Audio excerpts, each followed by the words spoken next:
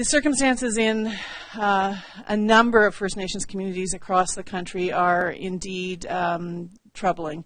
And particularly, there's a community in Ontario, Wapekeka, where there were uh, unfortunately two uh, young people who died by suicide in recent weeks.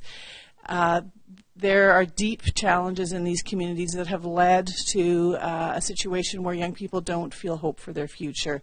We have worked with First Nations communities and other Indigenous uh, peoples across the country to develop the solutions that they need. In the, in the case of First Nations, they have developed a First Nations mental wellness continuum framework we uh, intend to continue to support that. We have invested $300 million this year in mental wellness across the country. In the Nishnawbe Aski Nation, which is the area where this uh, uh, the where Wapekeka is, we're investing $24 million uh, to make sure that uh, that mental wellness uh, needs are addressed across the community.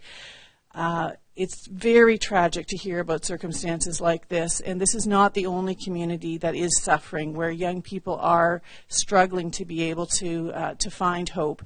And uh, we're deeply committed to working with our partners to be able to get new mental wellness teams, new crisis teams in there to respond to those needs. The, the Wapekeka First Nation, though, had submitted a plan to Health Canada in July. They knew that uh, suicide among youth was, was a, a, potential you know, crisis in their community, uh, but they were denied that funding. Why? Well, there are ongoing conversations between the First Nations Inuit Health Branch and communities like Wapekeka and other communities uh, across the country. We have made uh, significant new investments, and uh, the goal is to have 32 mental wellness teams across the country, including cri- mobile crisis teams, uh, to help support communities like Wapekeka. I've been in communication with the national chief, with the regional chief, and with the chief of Wapekeka. Chief of Wapekeka is obviously in, in tremendous distress over what's happened in his community.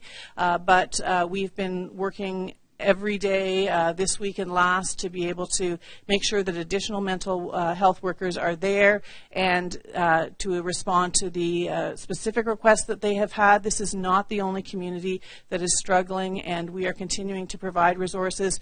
It's not just short term solutions, though, that are required in these communities. We are dealing with a legacy of generations of trauma, of people feeling uh, disconnected from their culture, and absolutely we will get uh, urgent uh, mental health resources into communities like Wapekeka, but we also need to address those deep seated uh, realities of why uh, people have lost hope.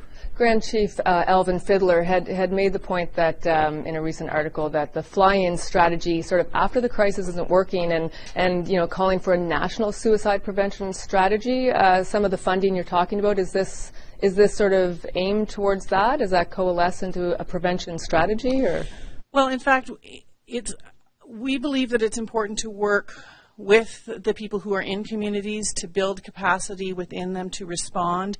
And in terms of what strategy to follow, uh, in the case of First Nations, they have developed what they call the First Nations Mental Wellness Continuum Framework, which was put out a couple of years ago and has come from the community itself. There also exists already a National Aboriginal Youth Suicide Prevention Strategy.